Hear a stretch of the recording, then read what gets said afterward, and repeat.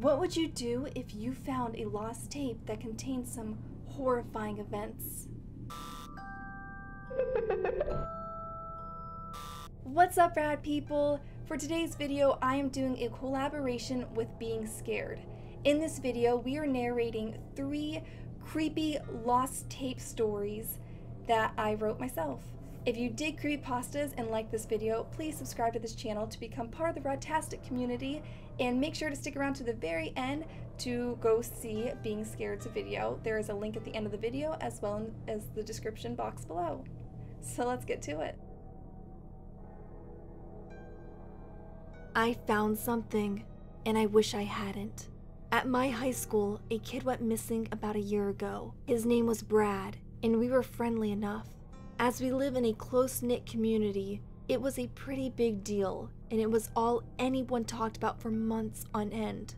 But through the investigation and interviews and tips, nothing was ever really found. No sign of murder, no indication that he took his own life, no clues onto what happened to him. It felt like he vanished into thin air. Either to pretend it won't happen again, or to hold out hope we will see him again. Most of us chose to believe he ran away.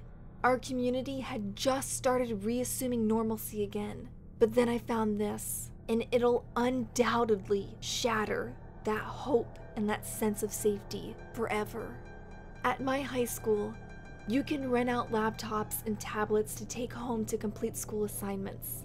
A couple days ago, I did just that to work on a presentation project. I had opened the laptop and logged in when I got up to grab my book on the coffee table. As I leaned forward, I pressed against the side of the computer and an SD card ejected. I took it out to look for a name, but there was none. So I popped it back in to look for it in any files. There was a single folder simply marked Group 3. Inside, there were six video files, each an hour long, and each name corresponded with its number. I clicked on the first video and I didn't recognize the person, but he looked to be about my age. It looked to have been recorded through his webcam. He wasn't particularly doing anything noteworthy. He wasn't talking to the camera or demonstrating anything. He just looked to be on his computer alone in his room. It was odd. It almost felt like I was spying on him. I exited out after a couple of minutes and moved on to the next person. This time it was a girl, and I didn't recognize her either. She was doing the same thing. I proceeded to check the next three, clicking in, seeing the same scene with a new person, and quickly clicking out. They all seemed too natural, not worried about being embarrassed or looking good on camera. It didn't seem like any of them knew they were being recorded. It felt wrong. I was trying to rationalize why these videos existed. Maybe Group 3 meant that they were doing some sort of research on habits or human nature. If it weren't the case, what would that mean? That someone had been hacking into people's computers and recording them? For what? To blackmail them for picking their nose? The next file squashed that theory before I even had a chance to believe it. File 6 was of Brad. I was petrified. Like the other teenagers, he appeared to be unaware. Unlike the others, I couldn't take my eyes off of him. The thumping of my heartbeat in my ears drowned out the hum of his fan through my speakers. I finally unfroze my fingers to hit pause. I had a million questions racing through my mind. What was going to happen next? How was the video going to end? And honestly, was I ready for what I might see? What felt so dangerous about this file is that I knew what happened to that person I was watching. Or at least, I knew part of what happened. And I was sure this video was going to be the missing piece to his puzzle. After a moment of catching my breath, I hit play. I made it to the 58 minute mark without anything eventful happening. Brad went from doing homework to going on YouTube to texting on his phone. With the complete uneventfulness of it all, I thought to myself that maybe nothing will happen. That's when I noticed him. A tall man with a ski mask pulled down over his face. He was slowly emerging from behind the closet door. I freaked out. I began yelling at my screen, telling Brad to turn around, to run out of the room, to not let what happens next happen. I sat horrified, watching as the man quietly stand behind Brad, who was engulfed by his phone. The man retrieved a cloth from his jacket's pocket. Just as the man reached his hand around to cover Brad's face, the video ended.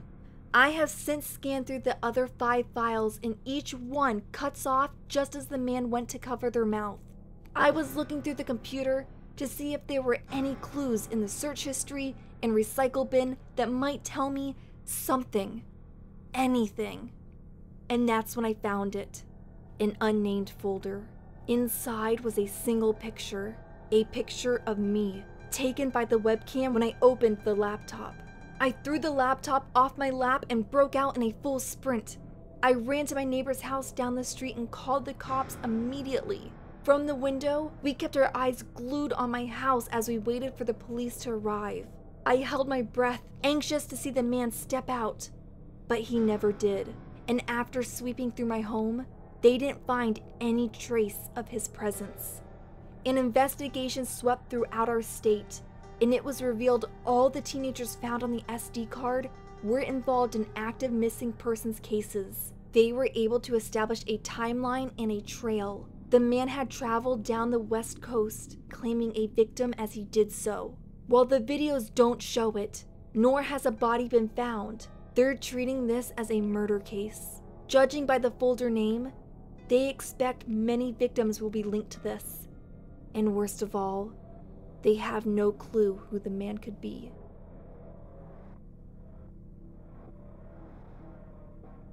For our honeymoon, we decided to rent an old cottage out in the countryside, wanting to have a quiet, relaxing week of just the two of us being isolated in the woods sounded perfect, and for the first few days, it was. But that all changed on the fourth night when my wife was looking for batteries for the TV remote. Digging in the drawers in the kitchen, she found a pack and a DVD with the name Jessica written in marker. Our nosiness got the better of us, and we thought it would be entertaining to see someone else's home movie. The video was choppy with one scene ending abruptly and the next quickly following, the first of which was a woman smiling at the camera and the person holding it. It looked like they were at a barbecue party as everyone was outdoors in summery clothes and listening to music. The scene ended with the girl asking the cameraman to dance with her. The next clip appeared to have been from a different day. The couple was now in a car, and the camera was placed on the dash so that both were in view this time. They were giggling and singing along to the songs on the radio. It was clear that these two were on some sort of romantic getaway. If only we had stopped at this point, we could have left it on such a happy moment. But we didn't and the surprise event change of the next scene made our stomachs sink. The clip was shaky, but it was clear that whoever was holding the camera was now chasing the girl. They were running through thick brush, and the only sounds heard were the quick snapping of twigs and a person's shaky breath. The scene lasted about 45 seconds, with the camera mainly pointed down towards the chaser's shoes. We couldn't peel our eyes off the television screen. The next clip showed the chasing was done and the person holding the camera had gained control over their breathing. It was short, only lasting about 10 seconds, but it showed an old building that looked long abandoned. The final scene started immediately after, and it was the longest of all the videos lasting about five minutes. Pointed once again towards a single pair of feet, it showed them walking in the woods at an even pace, but it looked like some time had passed as the ground was now illuminated in sunlight. When the video finally ended, we were creeped out. We didn't really know what to think or what to say to one another at first. When we were sure the doors were locked, we sat down and tried to think of possible ideas to explain what we just watched. We agreed that while it was unsettling, nothing actually happened on the tapes to make us feel the need to alert the cops in the middle of the night. It didn't show anyone being harmed.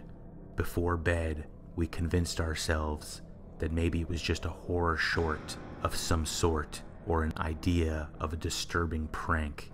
That helped us sleep that night. A couple days later, we pushed the video to the back of our minds so that we could continue enjoying the rest of our honeymoon. We decided to go on a nature hike since we were to be returning to the city soon. Not 15 minutes into our hike, we recognized pretty quickly we were on the same path as the one in the video. It was a surreal moment standing in the same spot the girl ran through. After a short debate, we decide we would continue just to see if we could find some evidence of it being real. We didn't feel a sense of danger. After all, it was the middle of fall, and the footage looked like it was from spring, so they would likely be long gone. A few more minutes down the path, we spotted the dilapidated building just off to the side. Walking towards the door, we took a pause to ready ourselves. Swinging open the door, we found evidence of a horrific event inside. The air reeked with the smell of death. There was a blood stain caked in the dirt, and there were deep scratch marks carved into the backside of the door. Once we saw that, we ran full speed back to our car and drove straight to the police station. We told them about the DVD and what we found at the old building. They have no idea who the people on the found tape are, making them believe they were possible vacationers, but the landlord had no record of the couple or how the DVD even got there. Right now, the police think maybe the perpetrator squatted in the house between renters and left behind the DVD before we got there. They are still searching for any further clues. As for us, we're going to stick to hotels from now on.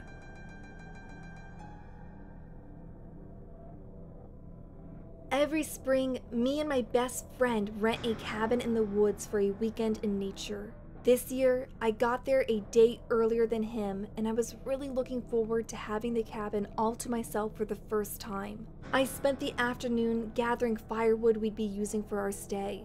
It was early March, so the night temps dipped pretty low, and a sleeping bag doesn't offer much warmth. When the sun began to set for the day, I headed in to start the fire. But when I went to put in a log, I noticed something shiny peeking from under some soot. I brushed it off and discovered it was a DVD. Printed on the front in sloppy writing was Read Me. My curiosity was piqued. I had brought my laptop with me and had time to kill, so I popped it in. Almost instantly, the video began to play and I was left staring at a middle aged man on my computer screen. He looked disheveled and I could see sweat stains around the collar of his shirt. After a moment's pause, he asked me to believe in what I'm about to hear, and then he began to tell me his story. He claimed he had been abducted by aliens. He didn't go into much detail about the aliens, but he did about what happened after. He was a respected man in his community. He was a school teacher and had a wife and children. So when this unexplainable event happened to him, he immediately went to be evaluated, fearing he had a mental illness. When he was given the clear, he knew it actually happened. Then he made the mistake that got him in trouble. He began telling people. Seeing as he was a trusted friend, the town started questioning if aliens really did exist, and if so, if they made contact in their town.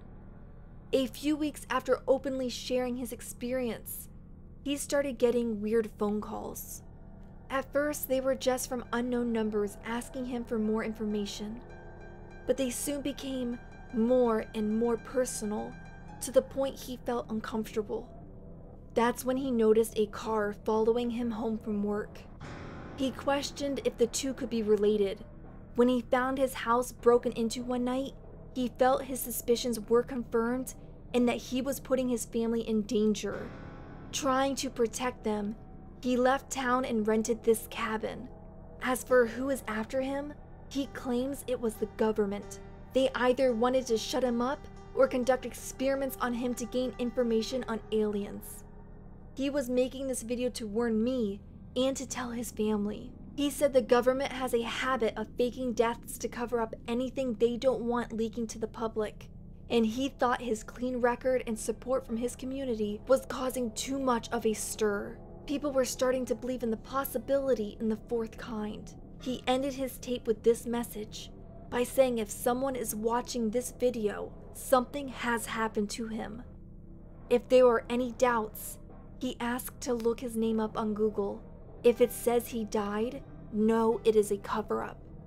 When the DVD ended, I sat staring at my laptop. Surely this was a prank. It was a joke. There was no way it was real but I had a gnawing feeling to look him up anyway, just to see. The first thing to pop up was his obituary, dated late last fall. The picture was of the same man. I didn't feel comfortable staying in the cabin by myself that night. I went home, driving the whole way trying to reassure myself that he was crazy. We ended up canceling that camping weekend.